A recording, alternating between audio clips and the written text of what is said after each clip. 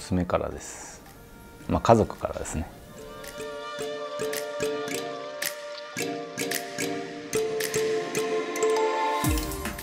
い やないです。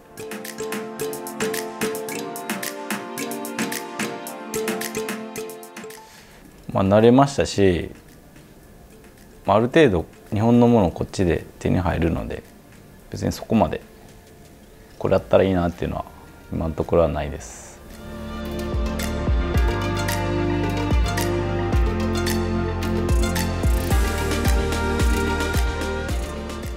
まあ大きい公園とかがやっぱあるので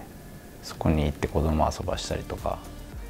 そういうのかなっていうふうに思います。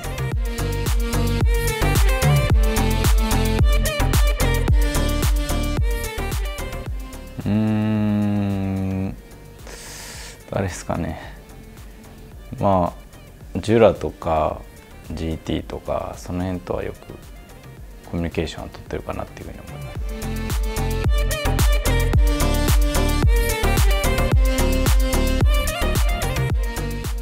そうですまあそれこそこっち来てすぐファンサポーターにやっぱ声かけられたりとかしてすごいその部分からやっぱり入りやすかったのでそういう、ね、ファンサポーターにすごい助けられたかなっていうふうに思います。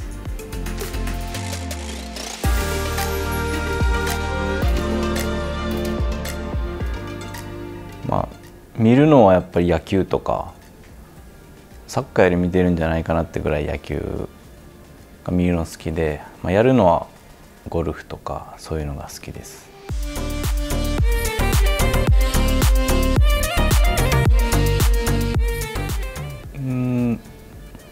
まあ、やっぱり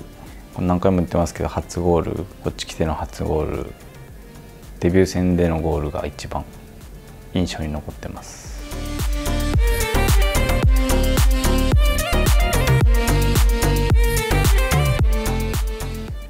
やでも正味全然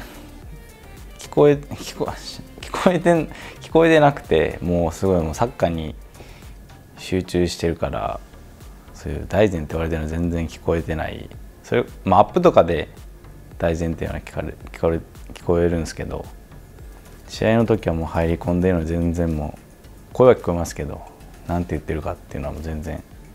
聞こえてないです。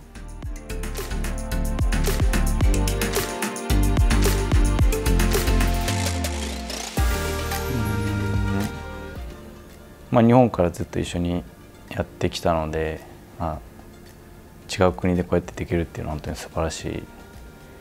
ことなのですごい僕自身やりやすいですし、まあ、ボスのためにもっていう思いでやらないとっていう思いもやっぱあるのですごいいい環境かなっていうふうに思います。